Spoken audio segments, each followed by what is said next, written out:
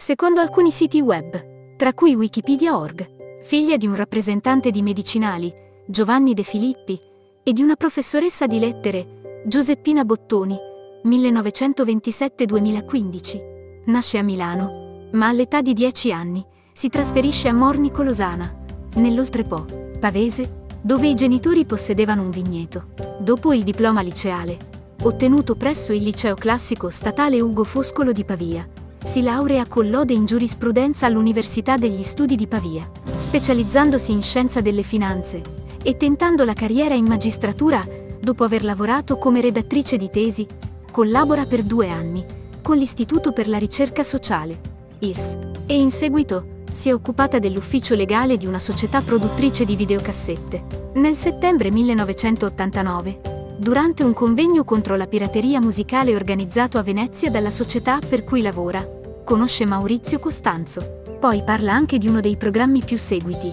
Uomini e donne. È un po' una fotografia di cosa succedeva una volta nelle piazze.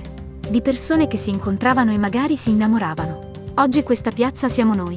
E a casa si immedesimano nelle storie che mandiamo in onda. È tutto vero. Per noi è fondamentale la verità del programma. Cerchiamo di evitare che chi viene da noi voglia fregarci.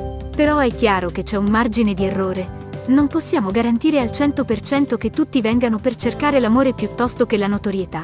Infine sulle critiche che arrivano su alcuni programmi definiti trash.